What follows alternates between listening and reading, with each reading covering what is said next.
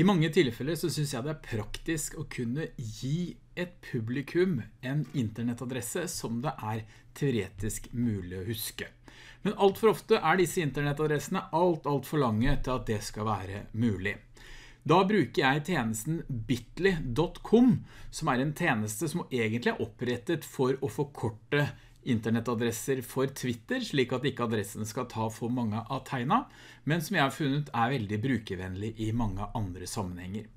Har du en lang internettadresse, gå til bitly.com, trykk på denne ruta her, paste eh, link to shorten og så tar jeg kontroll V, den jeg har kopiert ut allerede, og så foreslår den en kortere versjon, slik som inneholder her i dette tilfellet en syv tegn etterpå. Jeg trykker på copy, og så har jeg kopiert denne linken og kan dele den med andre. Denne tjenesten har en del fordeler hvis du velger å opprette en konto. Det jeg viste nå, det trenger du ikke å opprette en konto for.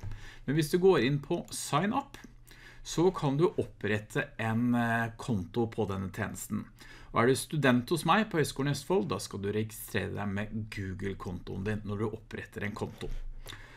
Så har jeg et annet eksempel her. Her har jeg en delt PowerPoint-presentasjon. Det velger jeg å kopiere lenken til den delte PowerPoint-presentasjonen.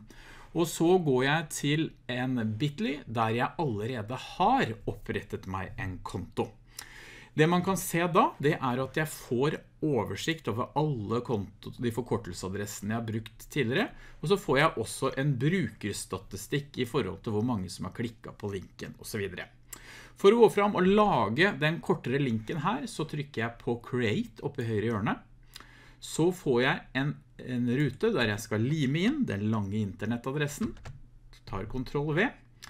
Og det som skjer nå, dere, det er at jeg kan skrive inn en titel. Eh, PowerPoint handler denne om. Og så, kanskje det kuleste alt, det er at her foreslår den en adresse, men jeg kan gå inn her og pusse ut det som står, og så kan jeg skrive PowerPoint eh, eh, PowerPoint eh, undervisning. Det ble kanskje litt langt. Da vil jeg heller kanskje si kall den for PP-undervisning for forkortelse.